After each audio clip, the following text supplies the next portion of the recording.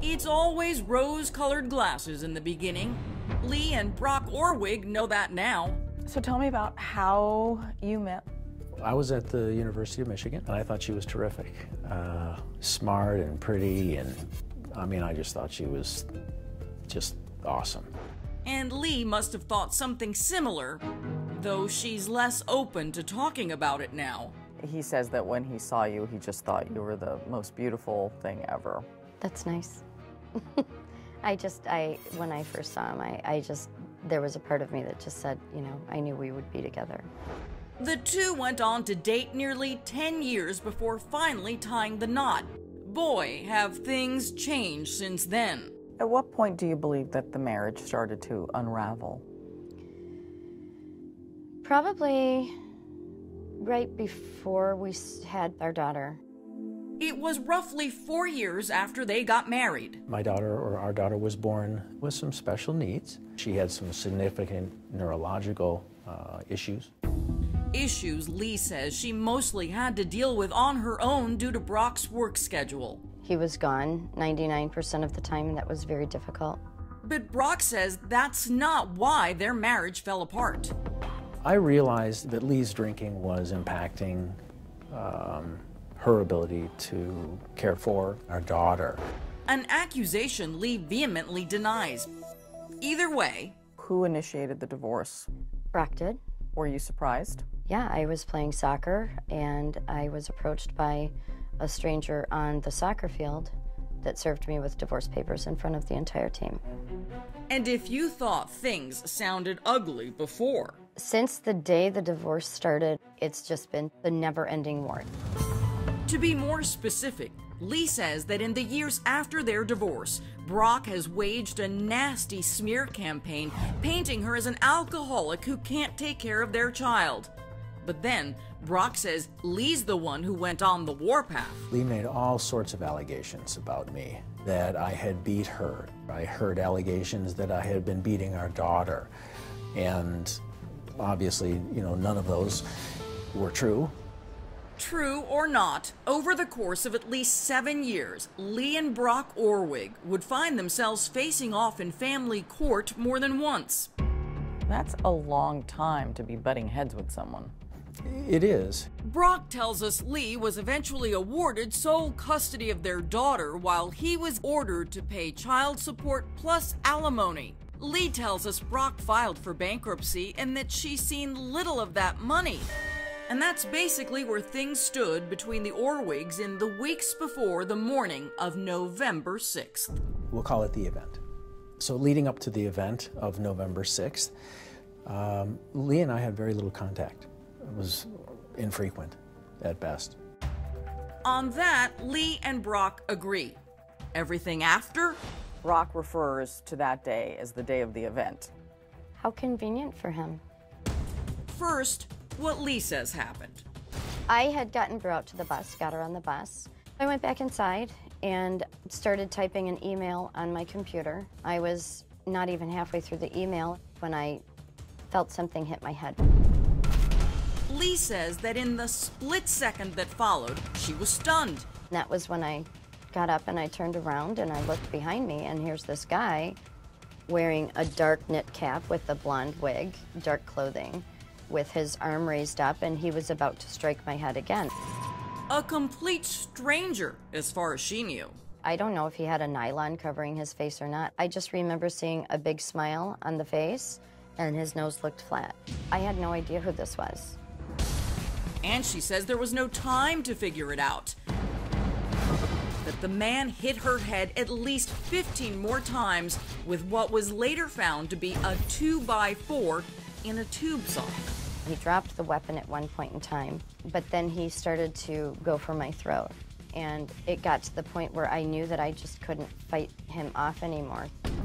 In that instant, Leigh says she decided the only way to stay alive was to play dead. I'd have to hold my breath. And she says it seemed to work. According to Leigh, the assailant loosened his grip and left her on the floor. Before eventually coming back to tie up her arms and legs with rope. Leigh says next, the man stuffed pills in her mouth, then wrapped her head with a towel and poured what she believes was alcohol down her throat. It kind of tasted like vodka.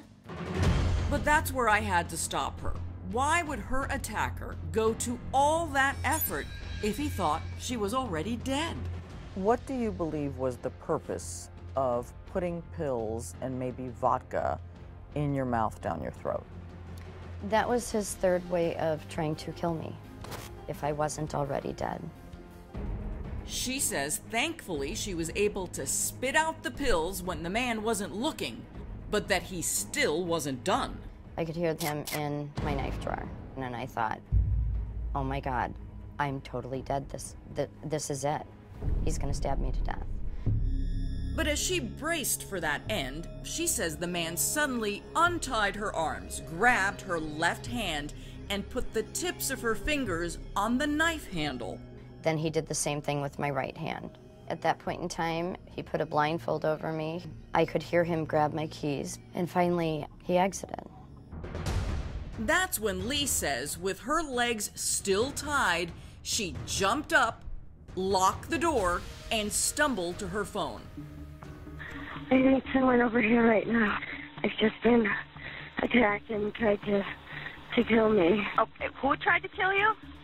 I don't know, some guy. I didn't know where he was. I could see that the small door to the garage was open a little bit, and that's when I told the police. I'm trying to keep the doors locked. He's in my garage right now. Okay. You don't I'm know. very scared. Then Leigh says, as she talked to the dispatcher, I heard the screen door to the side door open. And And somebody just tried to come back in my side door. Please send someone right now. off? Police arrive shortly after that and find a badly beaten Leigh Orwig covered in blood. And that wasn't all. In the detached garage, detectives find something she definitely did not mention on that call. Her ex husband, Brock Orwig, face down on the concrete, a butcher knife sticking out of his back. I said, Huh? Brock tells an entirely different story. I know. Leigh Orwig called police to say she was attacked by an unknown intruder wearing a wig. What she didn't say was that when police arrived, they would find Leigh's ex husband, Brock Orwig, flat on his face with a butcher knife in his back. What is the first you say that you learned it was Brock? I was in the emergency room. But how could that be after an assault Leigh says lasted for roughly two hours? How could you not have recognized your husband, Ex husband. ex husband? How could you not have recognized your ex husband in such a poor disguise? I have no idea. I, I just, I think that there was poor lighting in my house. He was wearing a disguise. Very difficult to see through the blood. It was, I mean, it was all down my face. And it is true that Leigh did suffer some severe injuries. I had 23 staples put into three large lacerations in my head. But she insists she had no idea it was Brock delivering those blows. She also strongly denies being the person who stabbed him. At least, that's what she says today. Take a listen to this statement from one of the EMTs who treated Leigh that day. She just stated that uh, she didn't know what else to do, so she picked up a knife from the kitchen and had stabbed her boyfriend. Not much ambiguity there. So, an ambulance driver, an EMT, said that they heard you say that you had stabbed your boyfriend in the back. I have no idea about that conversation, but I never would have said that, and I never said it. She identified him as her boyfriend throughout your conversation with him? That's what she said, yes. So, you never said that you stabbed your boyfriend in the back. Why would I call Brock my boyfriend, first of all? But no, I never said that. And Leigh says it doesn't matter anyway in light of this email from one of the detectives working the case. It reads in part The paramedic called and said she had injected some assumptions into her statement. These people redacted a lot of their statements because I never said those things. Okay, so then who did bury that knife in Brock's back? Well, how bad was the injury? Well, they said that she had put the knife in four and a half or five and a half inches. Apparently had just missed my aorta or whatever, and it was, anyway, it was horrible. In his first ever national TV interview, Brock Orwig sits down to give us his version of what he's calling the event. Okay, when's the last time you saw her before the event, which I will call the attack? I mean, you had a knife in your back and she'd been bonked in the head, Right, so. right. Yeah. So on uh, November 5th, uh, I was volunteering as a, a lunchroom monitor, and Leigh came in. What did you talk about? It was about parenting time and money, and I said, listen, you know, I'm hoping we can get some of this stuff behind us. I said, you know, can we talk about it sometime? And she said, yes, you know, come on over tomorrow and we'll talk about it. And I said, okay. Even though both of them claim they hadn't been on speaking terms for months. Was there a set time that you were supposed to go to Leigh's house? Uh, well, she, we just decided to come over after our daughter went to school. Brock says he walked there from a friend's house that morning and that all seemed fine. I went to the uh, her side door. It was open, and I knocked on the door, and then uh, I saw her come to the door. She invited me in. Once inside, Brock says Leigh had him take off his shoes, and as he bent over to do that, I looked up just as she was swinging something at my head. that something, he claims, was the same weapon Leigh says was used on her. I ended up ducking. Obviously, I didn't get hit. Instinctively, I ended up kicking her back. She fell down on the ground, and I came over to her and ended up wrestling a two by four out of her hands. And what is being said while this is going on? Oh, she's screaming, You're a dead man. You owe me so much money. It was on and on. She was irate. Mad enough, he says, to kill. I stepped back. She hopped up. I saw her grab something off the counter or near her stove. I thought it was a spatula at first. I realized very soon after that it wasn't. And she had a butcher knife in her hand. Brock says after that, he started backing away from the kitchen and into her living room. It was clear that she wasn't going to stop, and I had to defend myself. And this is the part that haunts me, and I feel horrible about it. With the 2x4 he wrestled out of Leigh's hand, Brock says he had no choice but to swing. It just made her madder. So I hit her again, and then finally I hit her a third time. Then she was stunned. Brock says that's when he knocked the knife out of her hand and spotted Leigh's car keys on the floor. His chance to get away. So I figured I would grab her car and go for help. So I ran into the garage. I couldn't figure out how to start the car. So I got out of the car, went back to the service door that I came in, and as soon as I opened it, Leigh was there with the butcher knife. She slashed at me, had nothing to defend myself. And I turned to run. I felt this indescribable pain in my back. My whole body was contracting. I couldn't breathe. All I remember is falling to my knees, and then everything went black. I woke up in the hospital sometime later that day. Detectives were there waiting to take a statement. So tell me again, how long were you in the house actually? I think it was like 45 seconds. Oh, so you were just in the house briefly? A far cry from the two hours Leigh says the attack lasted. But just like with Leigh's account, I have a few questions. Of course. When she came at you, Right. why didn't you just turn around and run? Uh, I was inside. But the kitchen is here, the door is here, and you're here. And if she's by the kitchen, that means the door is closer to you. No, it doesn't. Do you want me to draw a picture of what, what it looked like? well, if he was offering, The door here is going to be just like the door you walked in, and then you're going to walk us through what happened. Okay, so you walk in. She swung this thing at me. I ducked. I ended up kicking her back. She fell into her oven or stove. All right, so let me stop you right there. If I'm in approximately the same area which you were in, and she falls, you at this moment had every opportunity to leave, to get out and run away. Nothing was blocking you. Why didn't you run? I was in shock. I didn't know what to do. It didn't even occur to me. Not the most satisfying answer. And just what does Leigh think? He says you invited him to the house and you came at him with a knife. That's very inventive. Now, why do you say that that's inventive? Because that's not the truth. Brock Orwig says he never wanted to hurt his ex wife, but that he had no choice. I just, you know, I feel horrible about it. She was my best friend. She was my bride. We were supposed to grow old together. I feel terrible that I hurt her. I feel awful. Whether or not you believe that, there are two things we know for sure. Leigh Orwig was hit over the head with a 2x4 wrapped in a tube sock. And Brock Orwig was stabbed in the back with a 6 inch butcher knife. Without question, those two things happened. Yep. The question is who put the knife in Brock's back? I think it would be great if, if the Edina police could talk to you guys. And we've been trying. Unfortunately, police in Edina, Minnesota have declined to be interviewed at this time.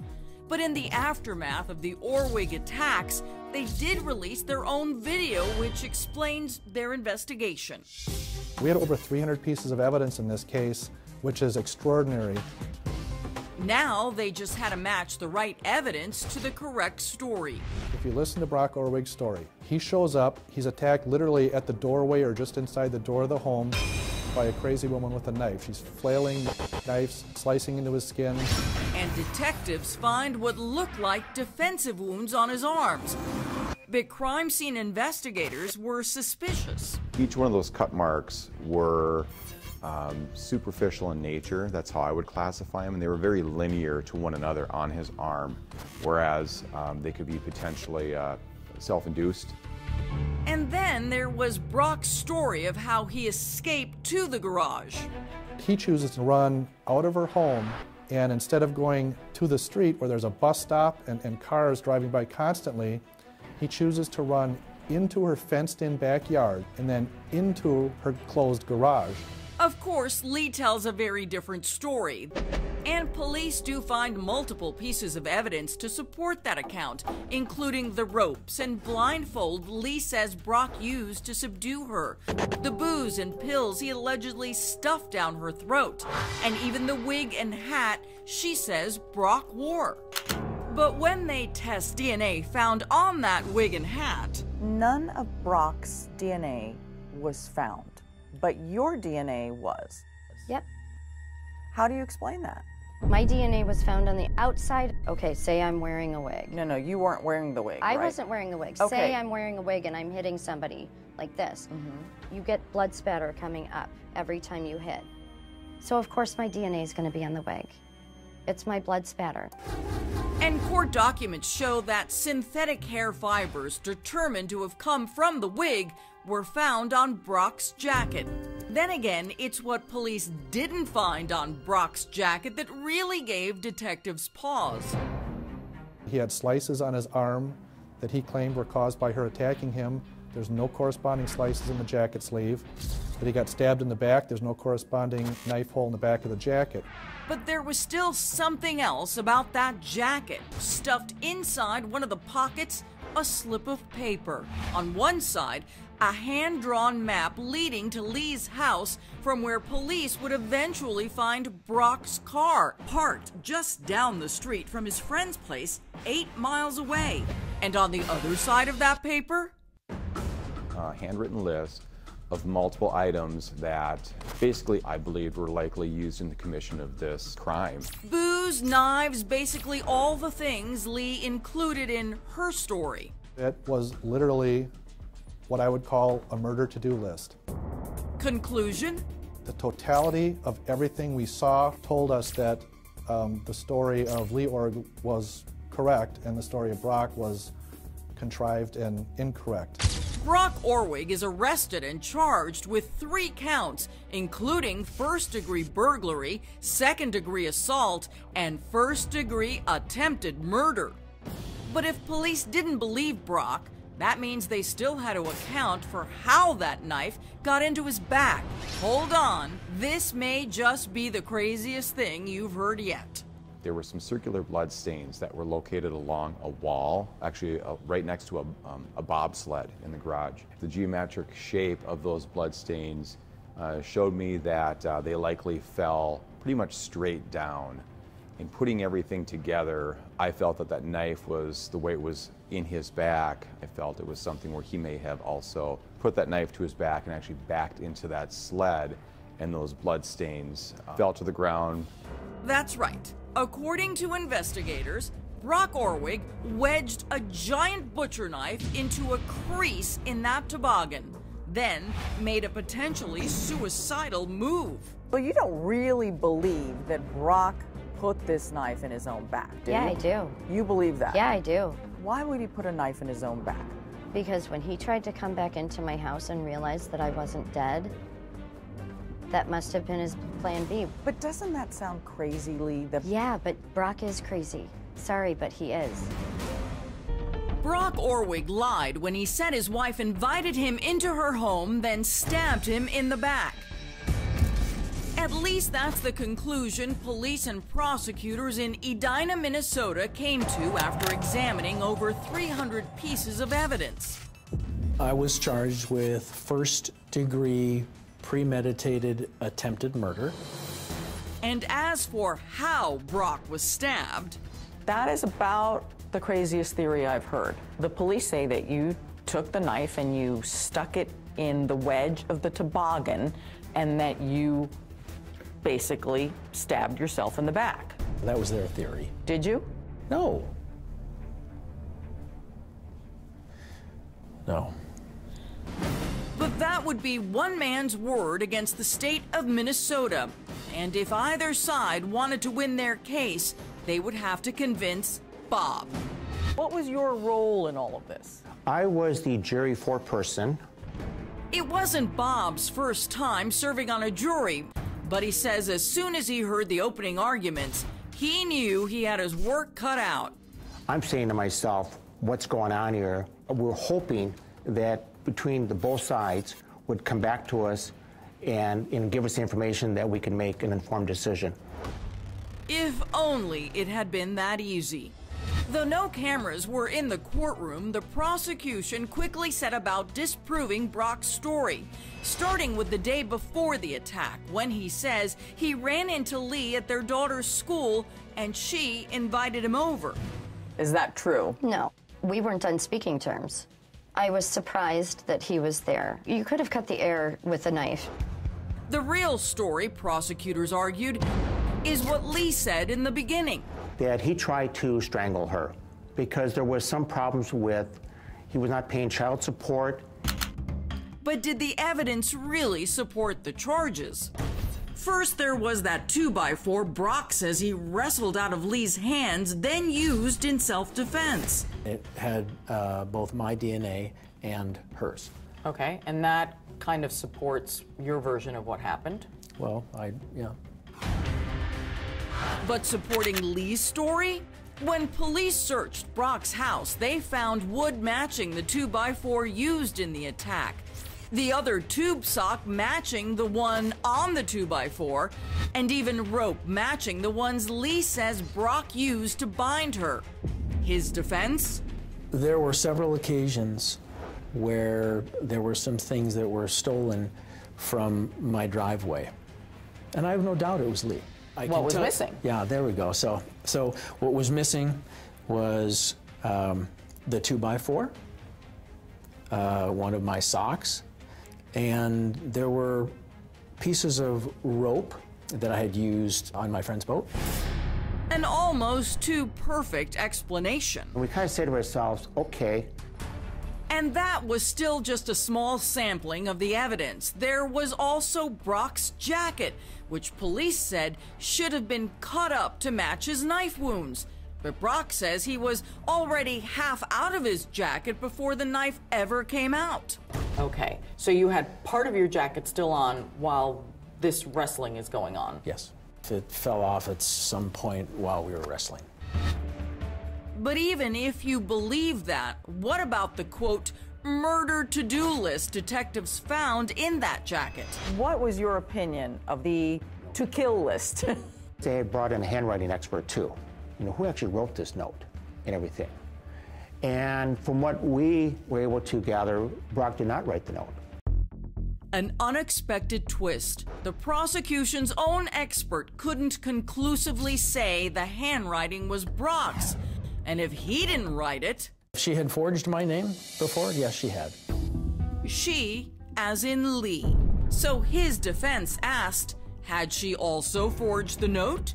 He says you wrote them and put them in his pockets. I must have forgotten to leave my DNA on them. It didn't have anyone's DNA on it. It was so bizarre, you know, everything that was going back and forth. And it would only get crazier. On the other side of that note, the hand drawn map leading from Leigh's house to where police found Brock's car. Not at his house, but near a friend's place. I'll give you that the murder to do list looks more like a plant. The map? I don't know where I fall on the map because how could she have known your car would be parked pretty much in the same location as the map has it? Easy, Brock's lawyer argued. She was stalking him. I think she was obsessed. And believe it or not, the jury was listening. Was Leigh stalking Brock, you know, watching every move of him? So you think that's a possibility? It's always a possibility. So you didn't immediately say, well, the only person who- who could have known this information was Brock, therefore, Brock made that map. No, no. Reasonable doubt? So then he suggests maybe you were following him. Was I following him while I was chasing him with a knife? I don't understand. And of all the evidence presented at trial, both sides argued it was that knife that said the most. Here's something I don't understand about the knife in your back. The blood on the handle of that knife belongs to you. How is that possible? I don't think that was my blood. I think that's hers. It's not her blood, it's yours. I don't know about that. Really? Yeah. Hold on. Yeah, please. Envelope containing swabbing of blood like substance from the knife handle matches the DNA profile obtained from Brock. And it does not match the DNA profile of Leigh. Good. Okay, so I guess that's pretty clear. So the only thing I could tell you is if that was my blood, then that would be the same blood that was on Leigh's hands. That would be the same blood that was on the floor in the garage. The same blood he says she got on herself after slashing at his arms. Now, keep in mind, I'm oozing blood all over the place. There is no blood trail from my side door to the garage because I wasn't following him. None of my blood is in the garage. It's all Brock's. But an even bigger question than how Brock's blood got on the handle was how the knife really got in his back. Was the prosecution's theory even possible? You'd have to be like in Cirque du Soleil to pull off something like that. You know, Brock was a gymnast. He's a, a lot more flexible than you think he necessarily is. But I have no idea what happened in my garage that day. I only know what happened to me that day. And again, there seemed to be plenty of evidence to support that. But the knife? It did not happen with that knife wedged in the back of that toboggan. Did not happen that way. What does that mean, Bob? When the marriage is over, who gets the knife? Attorneys prosecuting Brock Orwig for the attempted murder of his ex wife agree it was him, but that he gave it to himself. Do you believe that? No. We actually had the weapon and we tried to look, put it behind us and said, how can you stab yourself in the back? And if they didn't believe that, Then how do you think the knife got in Brock's back? Leigh stabbed him. It's what Brock had been saying all along, though it still didn't mean the rest of Leigh's story was false. The evidence was all over the board. There was just a lot of misinformation that was being thrown our way. For instance, there was Brock's claim that he walked to Leigh's from a friend's house roughly eight miles away, a claim police were never able to verify because Brock didn't have his cell phone with him. In fact, I, I had left my wallet and my cell phone on my bedside table that morning. I sometimes forgot them. Isn't that unusual not to have your cell phone on you? No, uh, I've, I've forgot my wallet and cell phone lots of times. Did you find that suspicious? Absolutely. On the other hand, is it really possible Leigh didn't recognize her attacker during the two hour assault? And is her whole story even logistically possible? Okay, so when she came back in that morning, Brock somehow snuck in the side door, hid, hid behind the couch. But when you look at that couch, the way it was sitting in the living room, there's no way that Brock could have hidden behind that couch. It just did not happen that way. And after both sides made their closing arguments, even judges looking at the case were confused, with one quoted as saying, at oral argument, neither party's attorney could offer any story logically consistent with the physical evidence. In other words, when we went into deliberation, we started picking it apart. There were so many lies that were going back and forth that we were trying to get to the bottom of it. You know, what really happened here? And after days of going over the evidence and nearly deadlocking, Bob and the rest of the jury came to this conclusion. I firmly believe, and, I, and most of the other jurors, that Leigh was the one that instigated, you know, the, this whole event. On the charge of premeditated first degree attempted murder, Brock Orwig is found not guilty. And the jury was unanimous on that. Unanimous on that, right, right. Unanimous, he says, in believing it was the other way around, that all the evidence pointed back to Leigh being the premeditated one. So you believe Brock was indeed invited to the house? Correct. The whole jury thought that he was attacked when he walked in, into the house. When she called 911, do you believe she thought she'd killed him? Yeah. Really? Yeah. And somebody just tried to come back into my side door. Please send someone right now. I think she was trying to cover her tracks. And Bob wasn't just telling me. I told the prosecutors after the case that I was surprised that she wasn't on trial for attempted murder. But if Leigh did stab Brock, why wasn't any of her DNA found on the knife handle? Not even the fingerprints she claims her attacker planted while she played dead. Don't you find that kind of weird? We did find it weird, but we also felt that that she could have put something over the handle on that particular knife. Of course, Leigh is not and has never been charged with anything related to the attack, insisting she and the state of Minnesota had it right the first time. So, Brock is claiming that I stabbed him in the back, and the reason is because I wanted the $20,000 settlement money? He said that you were yelling at him about the money that he owed you, and that's why you came at him with a knife.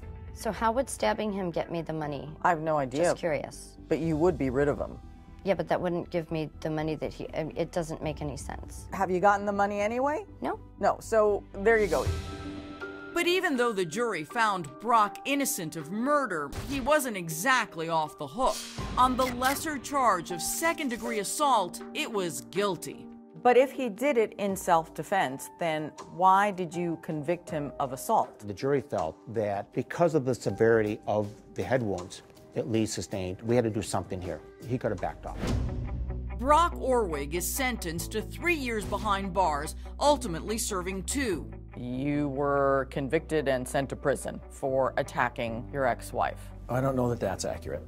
Um, I think what the jury found was that uh, I defended myself with too much force. It's assault. You were convicted of assault. It's either assault or it's not. And they said, assault. I mean, that's not in dispute, right? No, absolutely not. The, the reality is, I didn't have a choice. I mean, I ended up having to defend myself. Uh, she was coming at me with a butcher knife. Brock is now out on parole and says he's just trying to put the whole thing behind him. There's no question she set me up. But I've, I've moved on. I mean, I've forgiven her, and I don't want to be defined by that event as the, the oh, you're the guy who got stabbed by his ex wife and then got to go to prison. I, I don't want that to define me.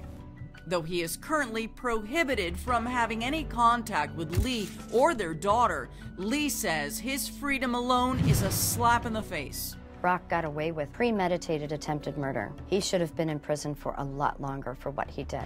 Two years wasn't enough? N no. No. I'm given a life sentence now. He's out of prison, and as soon as his GPS bracelet comes off, he can go anywhere he wants to.